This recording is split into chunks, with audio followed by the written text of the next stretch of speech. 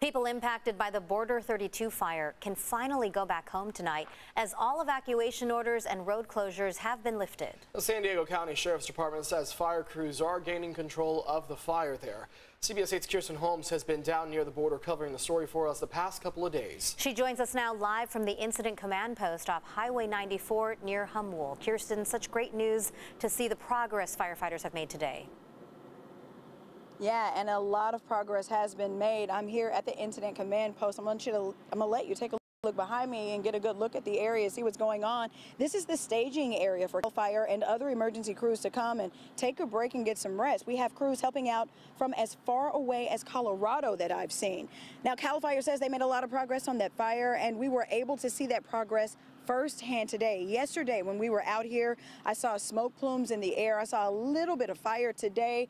I saw clear skies, but I did see a lot of charred earth below.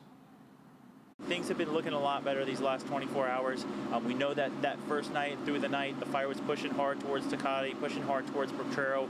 We've made a lot of progress since then, gotten some good containment line in. Thomas Schutz with CAL FIRE says they've made good ground on the Border 32 fire, but they're not done yet. We still have to do our job. We can't walk away from it until everything's done. So we're going aggressive because we don't want this fire to spread and we ultimately want to get folks back in their homes. All evacuation orders and road closures connected to the fire were lifted just before 2 o'clock this afternoon. Before people were able to move back in, we went to the Barrett Mobile Home and RV Park where Apollonio handles maintenance and says he was one of the first to spot the fire. When I, when I looked that way, I started looking a little bit of, of smoke. So I go and take a look. I say, well, this looks like it's going to be a fire. Completely dead. No, no signal at all. Yeah.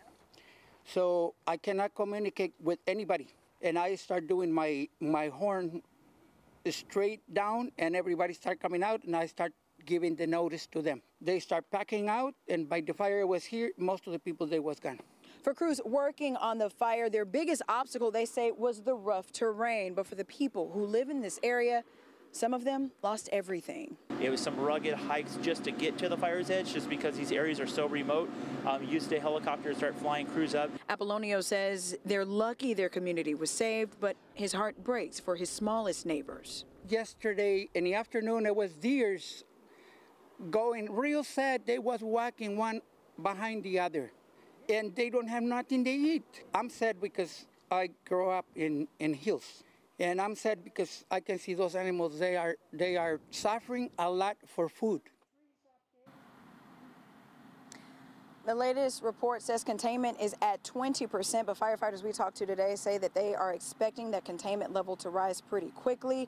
Three firefighters were hurt. They are expected to be okay. Reporting live for CBS 8, I'm Kirsten Holmes. Back to you. Great coverage out there, Kirsten. Thank you.